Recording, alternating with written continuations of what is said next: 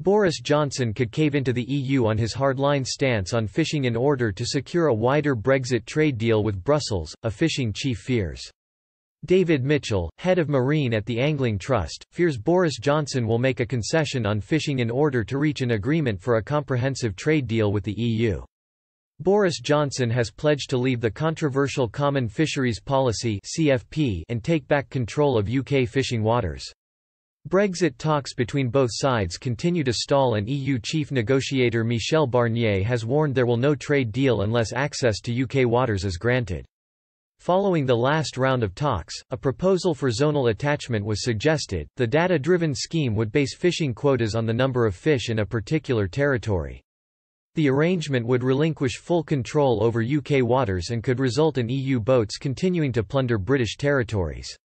It is also feared the move could be also detrimental to the UK, if due to continue climate change, fish stocks move out of British waters. Zonal attachment is already used to agree to catch limits between the EU and countries such as Norway and Iceland. David Mitchell, who represents anglers across England and Wales, said it is extremely unlikely Boris Johnson will put other sectors at risk just to take control of UK waters. Mr. Mitchell added he expects there will ultimately be some alignment to the CFP regardless of what deal is struck in order to protect fishing stocks. He told Express, could the Prime Minister accept this concession?